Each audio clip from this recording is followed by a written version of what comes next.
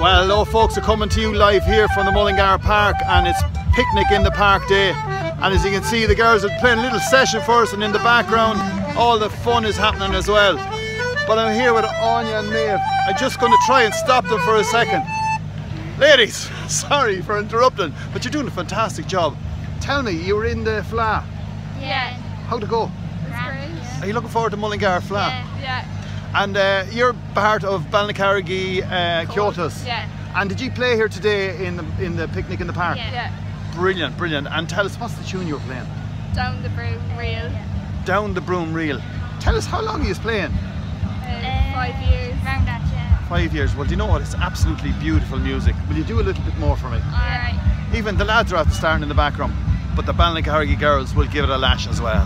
Here we go. Thank you, ladies.